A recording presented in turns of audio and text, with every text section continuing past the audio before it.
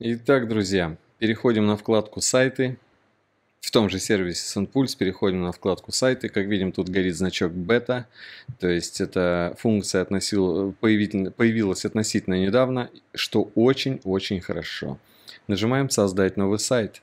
Здесь, когда вы зайдете, у вас будет уже готовый один сайт под названием «Тест». Можете переделать его, но тогда вы не сможете переделать его адрес. Поэтому я удалил этот самый тест – Я вообще любитель очень минималистичного дизайна, поэтому я выбираю вот эту штуку. Редактировать. Вот примерно в этом же ключе я сделаю свой сайтик. Сразу же все лишнее убираем.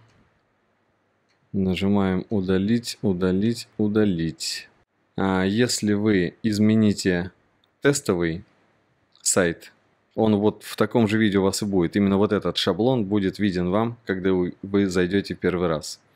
Поэтому вы можете изменить его, но тогда адрес вашего сайта будет тест, пульс, все такое. Так, связаться с нами. Нам этого не надо. Так, хорошо. Ну и оставлю, наверное, пару отзывов. Заказать чат-бота мы это убираем. И здесь берем форму. App, вот она. Вот это то, что нам надо. То есть это то место, где человек будет оставлять маленький наш мини-сайтик, где мы его будем пытаться завлечь в нашу рассылочку. Сюда мы поставим картинку. И главное, чтобы была форма. То есть нужно обязательно место, где человек должен оставить, может оставить нам свою электронную почту. И вот тут нажимаем, то есть как это все редактируется. Мы нажимаем на форму и вот здесь выберите адресную книгу. Это обязательное поле. Вот почему у нас до этого должна была должна быть создана адресная книга. Выбираем PP моды и стиль, все. По сути, можно хоть сейчас опубликовать, да, но желательно кое-что, конечно, переделать. Например, нажимаем вот сюда, переделываем картинку, загружаем новое изображение. Самая первая обложка моего лид-магнита. Не самый удачный вариант. Вот он. То есть вот как сейчас была картинка, небольшая, маленькая, да, вот такую бы желательно и сделать, потому что это что-то как-то получилось. То есть для лид-магнита это хорошо, это будет неплохо смотреться на мобильном, но для страницы захвата как бы не самый удачный вариант, да, вот картинку бы эту было желательно выразить. Но это я все показываю вам для того, чтобы вы просто поняли суть.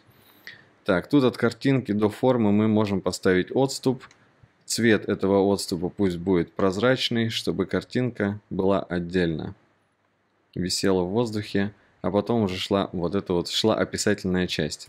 И это все мы удаляем. Здесь мы должны коротко и ясно описать человеку, что он получит, когда подпишется на нашу рассылку. Ну, что-то типа того. Текст по центру выравнивать, наверное, не обязательно, потому что это дурной тон. Если, допустим, это одно предложение, можно выровнять по центру. Но если несколько, то выравнивание по центру это уже смотрится как ну, такой самопальная какая-то ерунда.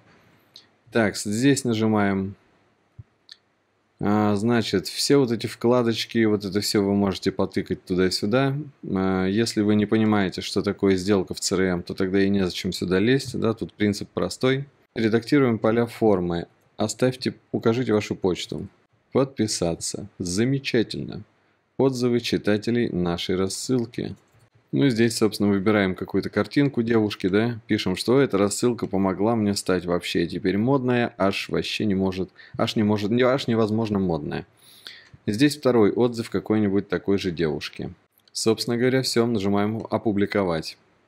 10 вещей для модницы. Обязательных вещей для модницы. Style. Вот о чем я говорил. То есть, если вы будете переделывать тестовый шаблон, который вы увидите в самом начале, то вы не сможете изменить его адрес. Поэтому я обычно предпочитаю делать страницы с нуля. Так, у меня немножко... Я вынужден был переместиться в другое место, пока все это доделывал, поэтому вы будете слышать на фоне шум моря и мой не очень отчетливый голос. Я постараюсь потом все это улучшить. Осталось совсем чуть-чуть. Заходим в настройки сайта. Удаляем логотип Сандпульса. Есть.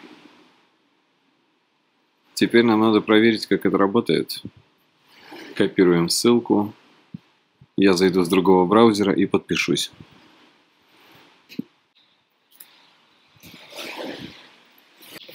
Так, предположим, я тот человек, та женщина, которая заинтересовалась. Оставляем адрес почты.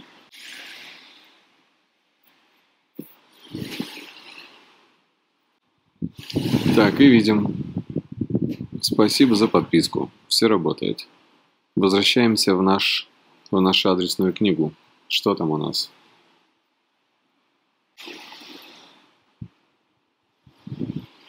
Ну вот, как видим, все работает.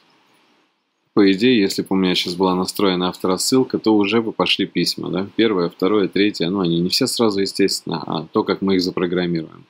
Но факт то, что наш сайт работает, он очень легенький, простенький, легко открывается, и любой может подписаться и попасть в нашу авторассылку. Идем дальше. В следующем уроке настраиваем саму авторассылку.